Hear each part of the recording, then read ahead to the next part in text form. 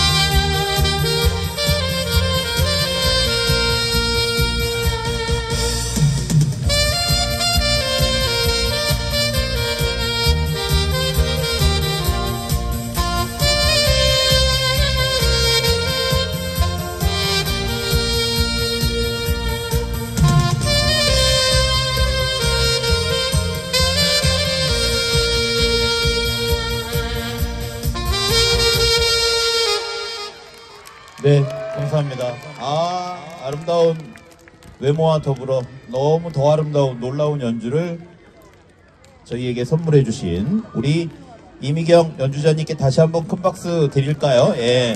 좋은 연주를 들었으니까 또 우리는 박수로 답해 주는 거죠.